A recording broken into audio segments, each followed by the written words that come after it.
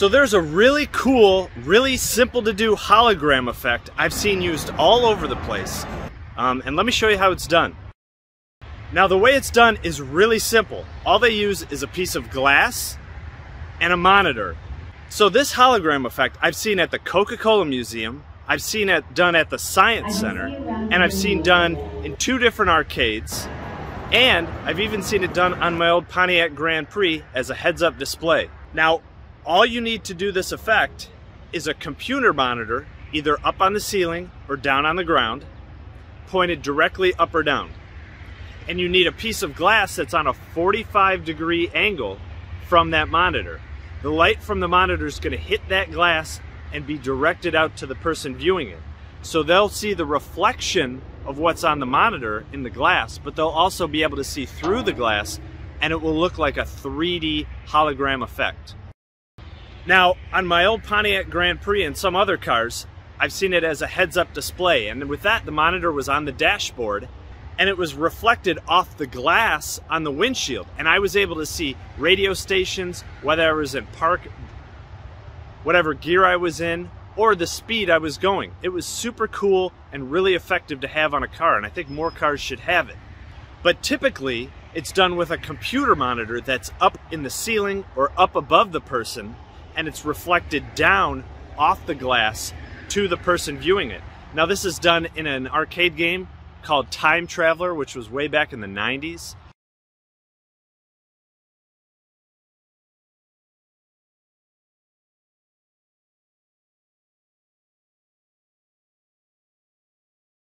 It's also in a current arcade game called Crazy Tower. And it's a big four-sided arcade game that if you go to any side, there's a triangular piece of glass up in front of you and you're seeing the reflection off the monitor up above. So if you look up above, you can see the monitor, but you can also see through the glass. That's where you get that hologram effect.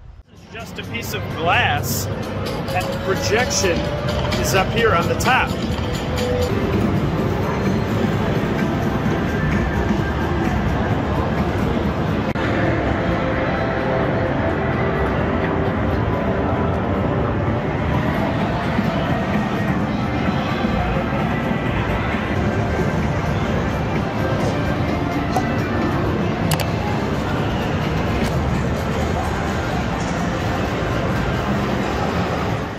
Now, two other places I've seen it were in the Coca-Cola Museum and in uh, a science center nearby.